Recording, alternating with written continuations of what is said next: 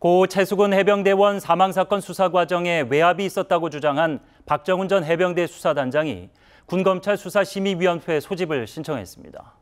민간 전문가들로부터 객관적인 판단을 받아보겠다는 건데 정치권은 진실 공방을 이어갔습니다. 유은총 기자입니다.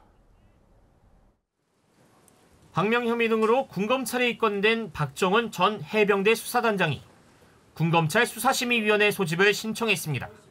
민간 전문가들로 구성된 수사심의위원회를 통해 자신의 정당성을 판단받겠다는 겁니다. 제3의 기관에서 저를 공정하고 투명하게 이 사실에 대해서 실체적인 진실을 밝혀주시기를 간절히 강구하는 바입니다. 야당은 적극 엄호했습니다. 대통령실 김태호 국가안보실 1차 장관, 이종석 국방부 장관 등의 윗선 개입 의혹을 거듭 제기하며 특검을 요구했습니다.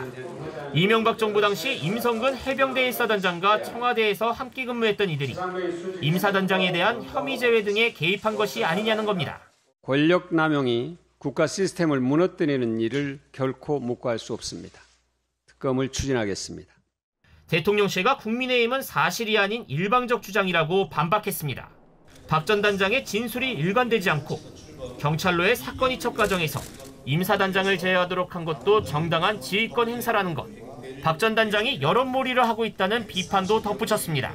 또 언론에 나가서 인터뷰를 하고 본인의 주, 주 일방적인 주장을 어, 국민들에게 호소함으로써 본인의 정당성을 주장하는데 이거 네. 전형적으로 정치인들이 하는 행태거든요. 네.